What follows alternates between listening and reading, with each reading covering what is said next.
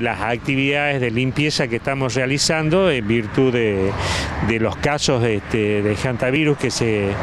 que se están dando dentro de lo que es la provincia de Jujuy y a nivel país este, en general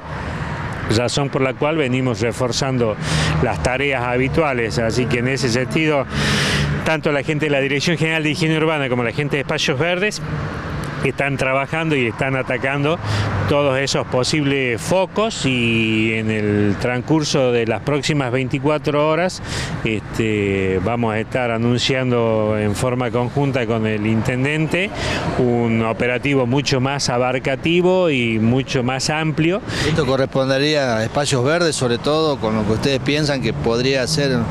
eh, lo que estaría poniendo en peligro a la población? No, no, no, no, bajo ningún punto de vista, digamos, sabemos que el, tema de los roedores, este, como lo dijo también, lo dice todo el mundo, donde hay casa y comida va a haber roedores, así que puede ser en un espacio público, puede ser en el patio de la casa, puede ser este, a, orillas de un lecho del río. Eh, digamos, no hay que descartar absolutamente nada, hay que tratar de atacar la mayor cantidad de alternativas que se puedan, digamos, hay que tomar las medidas de precaución y de prevención.